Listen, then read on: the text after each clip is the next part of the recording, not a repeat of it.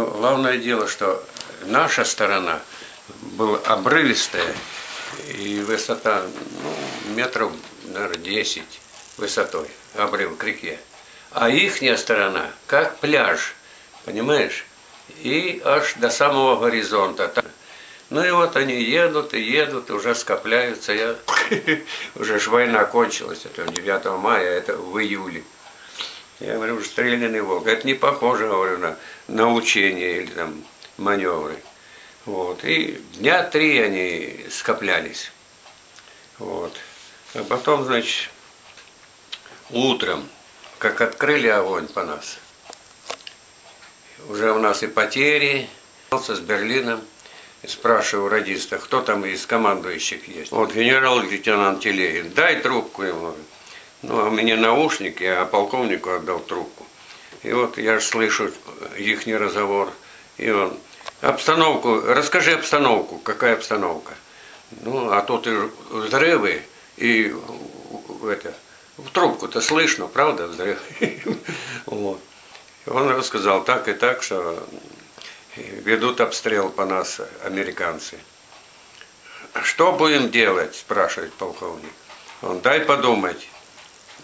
Ну, недолго думал, может, секунд 20, ну, полминуты самое большое. Вот. А потом э, слышу трубку. Так, там он назвал имя, отчество, он не знает друга полковника. Вот. Э, беру всю ответственность на себя, э, командование этим э, инцидентом. Вот. Беру ответственность на себя, открыть огонь со всех видов оружия, час обстрела, не жалея снарядов, скорострельными. Как загремело. Ну, представь себе, ведь война кончилась, боеприпасы все целые. Вот. Как открыли огонь, и в нас тут дышать нечем от порохового этого дыма. А там вообще перепахали, ну воронка на воронке, там ничего не осталось, как К-700 проехал, пропахал своим 12-лемешным плугом. Вот. Час кончился, вот, утихло, осела эта пыль, вот, а это дым пороховой. И смотрим, и я в бинокль посмотрел, чистота и порядок, как будто там кто косой прошел, прокосил. Потом смотрим, едут два доджика с белыми флагами, э, парламентеры. Оказывается то, что э, там, э, может, даже и Рузвельт не знал, а там какой-то генерал. Вот. Решили попробовать силу русской армии. Понимаешь, что, мол, четыре года россияне провоевали, они ослабли, вот, они у них нет ничего, туда-сюда. Ну и вот в таком духе, понимаешь? Попробовать нашу силу. Ну и попробовали. Что там, наверное, дивизии три уложили э, на этом берегу.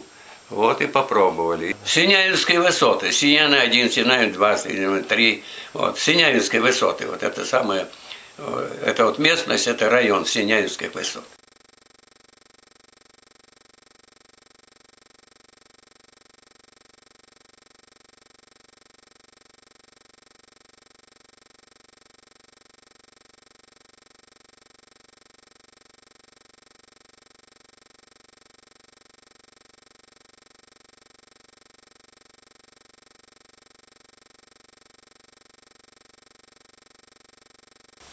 Ну и вот подползли мы туда метров за 15, за 20.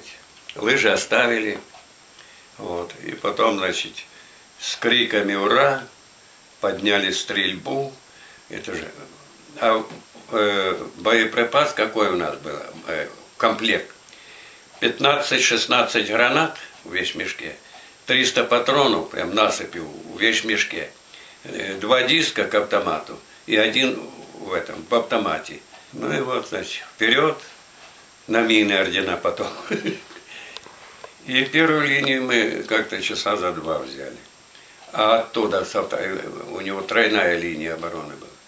Со второй как поперли, а у нас все меньше, меньше, меньше, боеприпасы меньше.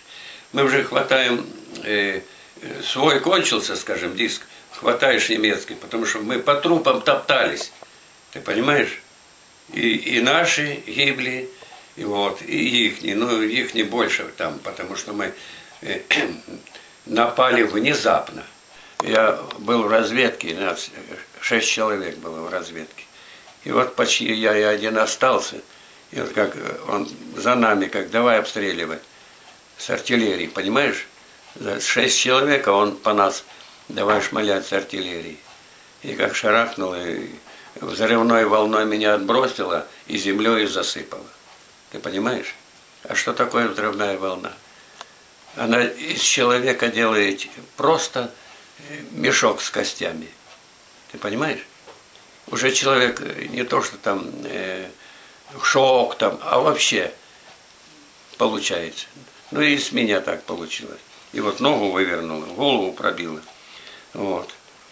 Ну и идет эта трофейная похоронная команда. Раненых там, убитых собирает. Ну и меня достали. И я фактически был почти не живой. Но сердце еще билось. И вот в госпиталь. Восемь суток был без сознания. Понимаешь? Вот. И пока я очухался, вот, и, и сам я же не мог ни двигаться, ничего. И долго, и был слепой и глухой.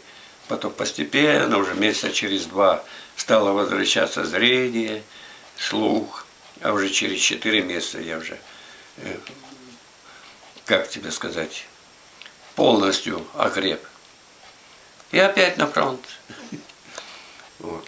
Ну и когда э, сообщили, там же с что Германия капитулировала, все, э, война кончилась, а я с наушниками сидел, это как раз дом четырехэтажный, вот, сидел. И как услышал, победа, вот, а там, по-моему, э, не то майор там сообщал это, эти данные, что капитулировала и победа. Я выскочил с автомата. Все как повыскакивали. В чем дело? Я говорю, кончилась война, победа. О, как подняли стрельбу. Многие думали, что какое-то нападение немцев. Вот так это и победа.